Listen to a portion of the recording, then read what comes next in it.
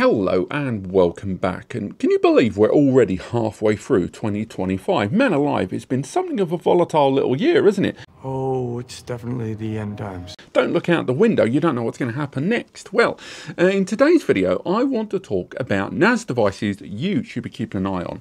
Halfway through the year, let's face it, a lot of us are thinking about holidays. We're thinking about going away and sitting by the pool, maybe having an extra little margarita on the side. But September, October, November are just around the corner. And I think a number of you that are eyeing up solutions that you may need for home or business reasons in the second half of the year, at least in a few months' time, might want to keep an eye on things. And in this video, I'm going to tell you five different NAS devices that you should be keeping an eye on in the second half of the year for your next big storage purchase. Let's crack on with number one.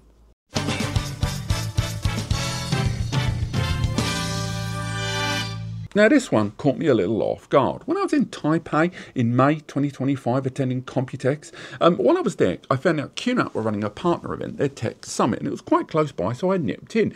and during the course of that, I saw lots of QNAP hardware from the past, present, and future. But one of the things that really stood out for me was their new 9 bay. This is their intended follow up to their uh, popular 2020 and 2021 release TSH973AX. Now, this is a new 9 bay device. It's got five traditional SATA hard drive bays and it has four U.2 NVMe bays. Now, running on an Intel i3, uh, a 13th generation i3 with six cores and eight threads to play with there.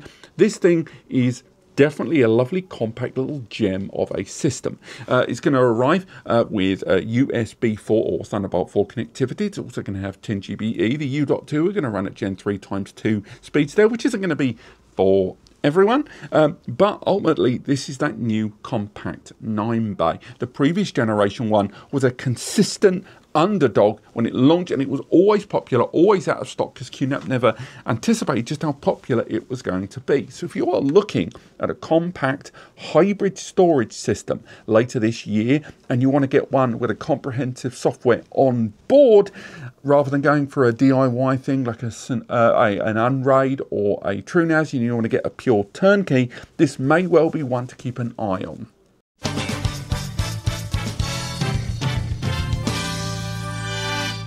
Half a year on, and it is a NAS that we've still yet to see arrive on the scene, at least at the time of recording. The Minisforum N5 and N5 Pro. This was a NAS that we first saw at CES 2025, and six months on, the brand has continued to tweak it, improve the thermals, improve the power consumption, and even improve some of the connections. And it looks like we're almost on the verge of release. This is uh, their 5 bay SATA and 3 M M.2 NVMe at Gen 4 times 1 and Gen 4 times 2 speed compact NAS system. Also arriving with 10 GBE and 5 GBE on the rear, as well as an Oculink port and Thunderbolt connectivity as well. Alongside this, not only is it supporting third-party um, operating systems like Unraid, TrueNAS, Open Media Vault, and more, but it's also arriving with an internal 64 gig eMMC storage that has their own operating system that they've been working on that's based on FNOS included with it at no additional cost. This small storage um, area that was populated by this operating system supports ZFS, it supports containerization, virtual machines, snapshot, um, multiple different storage um, uh, redundancy array options there, file sharing, the works. And also with things like containerization, opening the door to flexible uh, and Jellyfin deployment there, along with others and smart home appliances, and multi-tiered backup solutions as well. Uh, running on the H X370 Ryzen 9 processor. This is a decent little CPU with 12 cores and 16 threads to play with and support of ECC. There is a lot to love about this device. It's not going to be the lowest power consuming, but there is a reason Minisforum been getting a lot of attention for this intended hardware build, and I recommend you keep your eyes open for it because if you're purchasing in autumn 2025, this may well be available already.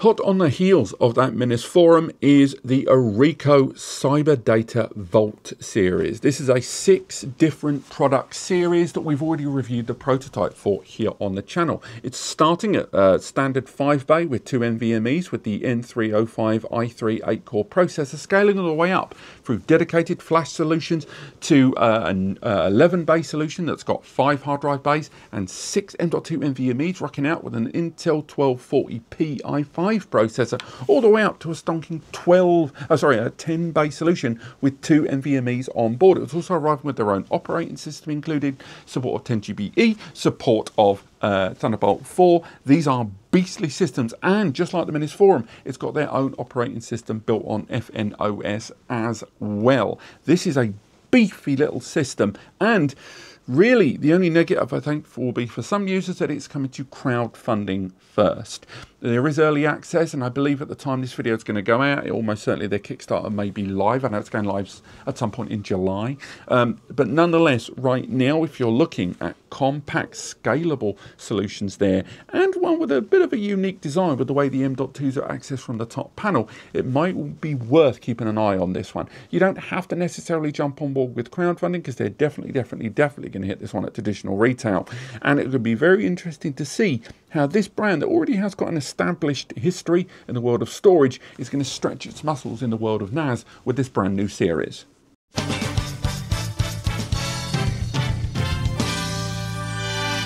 Bit of a quirky one this. Do you remember when we talked about the UnifyDrive, the UT2, a 2 times NVMe, uh, technically 8 core ARM based CPU NAS system that gave you pretty much everything that a standard uh, static NAS system gave you, but it made it portable, running off battery power in that nice little orange case.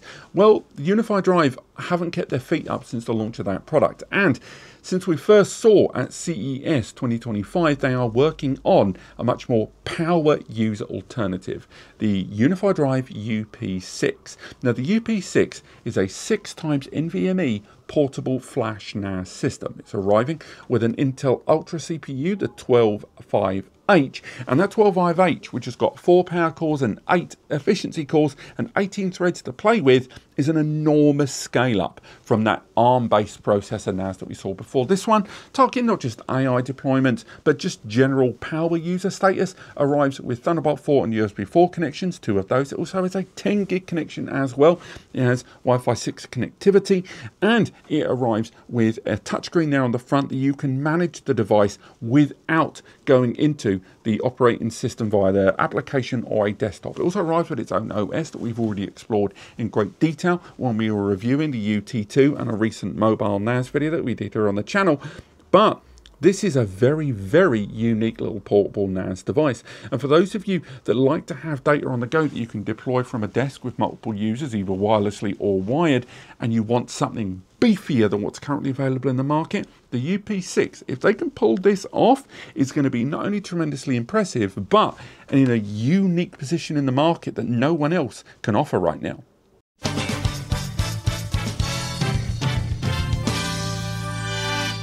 Whether it is that Ugreen having an established you know notoriety when it comes to peripherals and cables and battery packs and chargers in people's homes and offices or the fact that Synology has been getting quite a negative publicity recently with regard to their change in policy towards third party drive verification. Whatever way you look at it, Ugreen and their NAS series has exploded in the last year to a year and a half. It's not that they've been new to NAS, they've actually been in the world of NAS since about 2020, but it's only with the release of the DXP series or the NASync series that they've really made an enormous splash and have been procured by a lot of buyers throughout the course of the last year. Now, during this time, they've been talking about their new NAS series, the IDX. This is a separate parallel running NAS series designed primarily for AI. And I know a lot of you couldn't care less about AI, but we'll come around to that in a moment. Uh, the IDX 6011 and IDX 6011 Pro are both horrifically well powered devices, arriving with the 255 um, CPU series, uh, the 5 and the 7, depending on the standard and the pro class. These CPUs have got 16 threads, 16 cores, or 14 uh, cores and 18 threads, depending on which one you go for there. Uh, alongside that, these have got six SATA bays and two Gen 4 NVMe bays there in the base.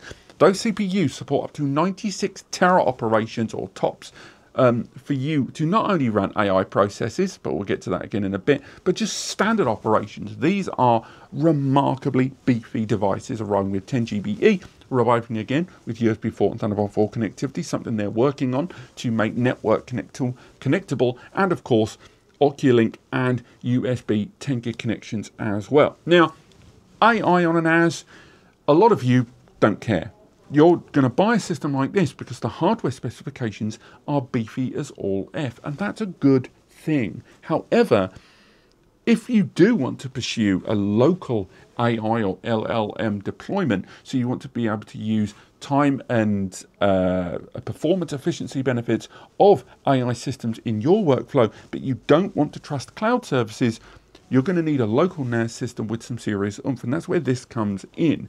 From not only crawling photos, video, music, documents, and more for you to retrieve that data when needed, but also creation tools to use the data you have made to your benefit. And that's what this system is gearing towards. But crucially, you don't have to use those. You can go ahead and use this with its sheer hardware capability in a turnkey solution and use TrueNAS, use Unraid, use UGOS that it arrives with, and just have that hardware at your disposal. It's almost certainly not going to be the cheapest NAS in the market.